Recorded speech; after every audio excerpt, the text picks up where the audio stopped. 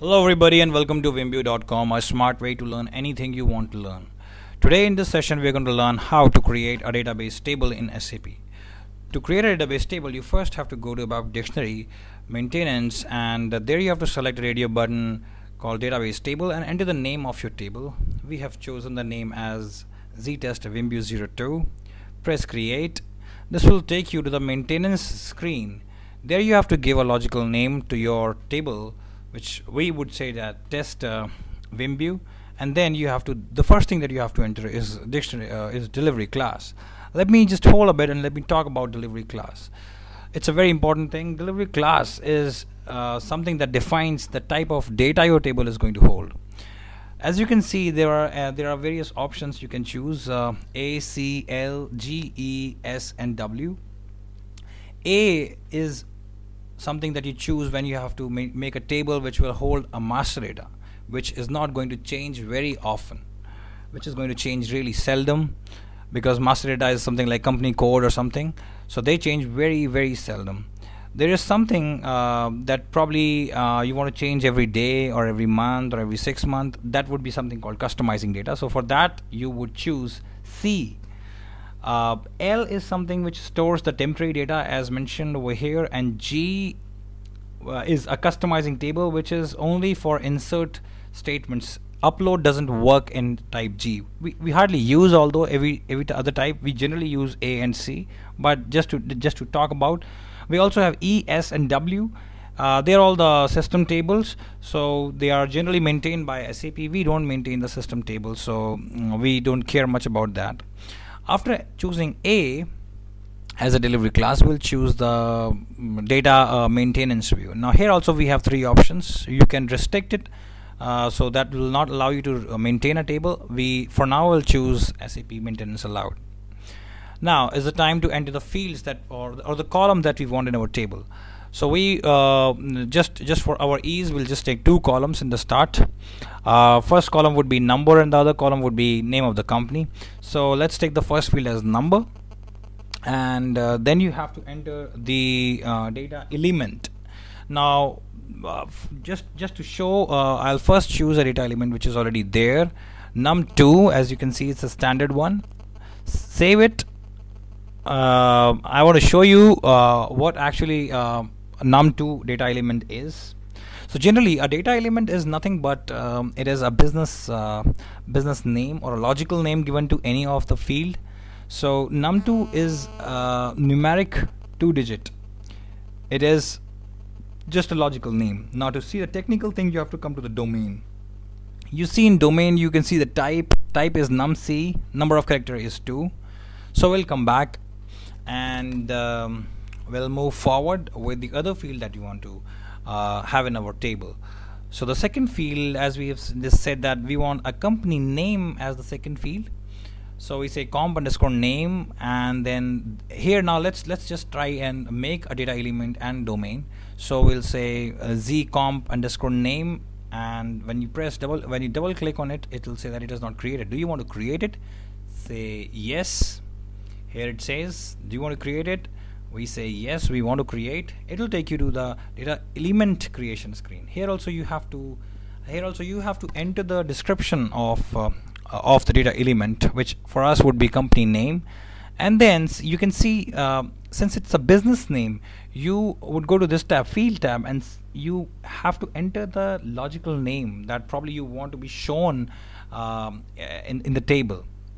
So we'll say company uh, name you have uh, four option over here short medium long and uh, uh, heading.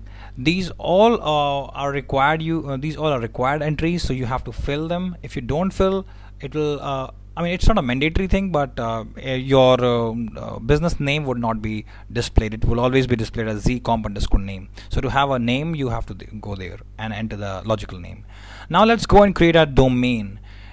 So domain is something that is a technical thing which will define the technical attributes of your uh, column. So here uh, we again choose the same name uh, just for our ease and define the technical attributes of uh, our domain. You again get the same pop-up which says that uh, your uh, domain name is not created. Do you want to create a domain name? Say yes. And now we are in again for domain also you have to enter the short description. So enter the same short description probably. For us it would be company name. You can change also uh, to data type. Now is the time to see if we choose an existing uh, data type over here. See what system behaves. It'll give you uh, an error message that you cannot choose uh, uh, already existing data type. Here you can only choose the basic data types. Choose char for us and save it. We also have to define the length. If you don't define the length for any char thing it is by default as 1 we choose 30 uh, and uh, it is now uh, new. We let's let's uh, first activate it. And I want to show you something else. Um, let me first activate. Now let's uh, let's let's go to the value range here's something interesting. You have a whole range of values that you can um, put over here to get a value or you can define a value table. Now what is what is this? It is nothing but it's it's the search help value that you get over here. If you enter a value table over here or values they would be shown at the time of uh, at the time of search help uh, in in your table. So we have uh, left it blank. Uh, let me let me just activate the element also uh, first so the domain is activated. The element is not so I'll go and activate the element. And uh, I say activate. And uh, it will activate the element. Now since we have created a domain and element it is interesting to know that uh, these domain and element can be used in any of the table since it is a dictionary object now.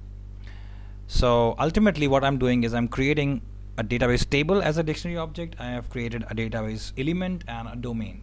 All are dictionary object. Now you cannot create a table without a uh, without um, a key field. So I have chosen the first field as the key field. The other thing that you have to do is you have to go to the technical attributes. Now let me tell you what technical attributes is. Technical attributes will define what kind of table your uh, this database object is is it going to hold a larger number of uh, records or is, is, is it going to have a small size category or what type of data it would be? Do you want buffering or not? There are a lot of concepts that you define over here for for a table as a whole.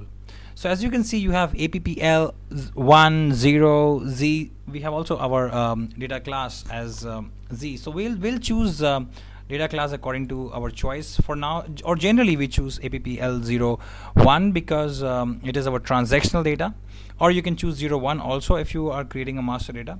So um, we'll choose appl1 and the size category for us would be 0 because it's like you can see uh, it's the least thing that you want. We'll leave rest of the things because they need more discussions. We don't have uh, that much of time but generally we know what buffering is so here we are now with our technical setting and the table ready to be activated.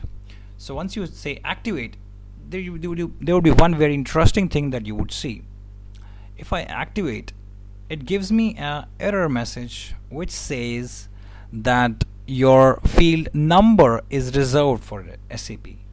So that means that I cannot use the number field in any of my Z tables so I have to say z number and z comp name although comp name I could but I've just for, for my uh, knowledge uh, to, to have in sync I have uh, put a z over there. Now just activate it. So I'm activating it it is activated it has given you warning. Although we don't care much about warning but as you can see the enhancement category is not maintained. Let's see how we can create enhancement category. Go to extra choose enhancement category. Here you can see that not classified is given. So I'll choose can be enhanced character type or numeric. Say copy and then activate. Although it will give you some warning message but that's because of my system second uh, system settings it's uh, not because uh, of any other reason. So I'll activate it and I'll see if there are any other warning messages. And um, there are. Let me see if anything I can get rid of uh, no that's okay. But yeah, it, this message is because I've already created a couple of table with the same name. So I am done with the creation of the table. Uh, now if you want to see or, or if you want to create any entry you can go to utilities and see how your table looks like choose table content and create. You can also uh, use this table directly in your program. Now since we have chosen over there as maintainable uh, in the first uh, step so here I can now maintain. I'll say one and Wimb you have saved it. Come back. Now go back again and choose display this time. And you would see your entry. There you go thank you